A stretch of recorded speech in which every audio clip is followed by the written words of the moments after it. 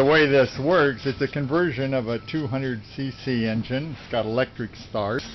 Link is ro uh, rocked in a harmonic motion by a bearing on the uh, flywheel. And this moves this back and forth, this arm, which rocks that shaft.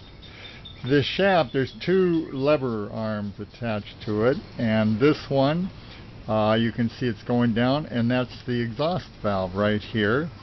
This is the intake valve, and it operates underneath.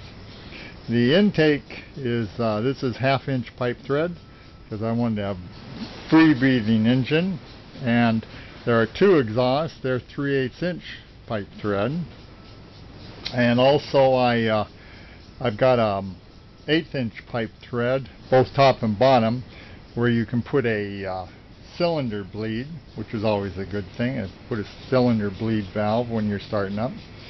And I've got an eighth inch uh, pipe thread here, which I would uh, sometimes run a quarter inch copper tube when I was running on steam, just so that uh, pressure wouldn't build up in the crankcase.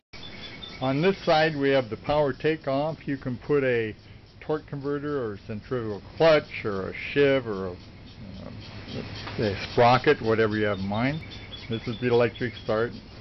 Uh, so I will uh, run this thing on air first so you can take a look at it.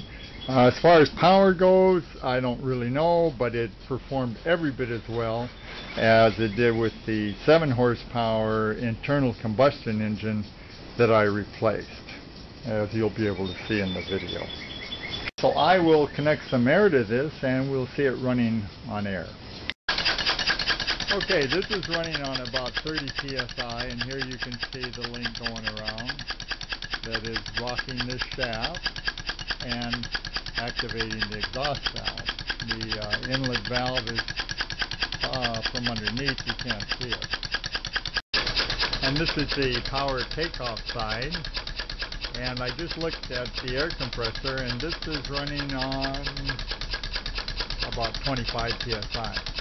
All the levers are taper pinned to this shaft and I use Loctite on all the connections because I usually run this engine at 2500 RPM and I haven't had any uh, problems with anything coming loose on it. I'll now uh, run it on 100 psi. It won't run for long as I have just a very small compressor, but you can see it at higher speed. In fact, the tank's running out now. And so now I just uh, do the solenoid start button.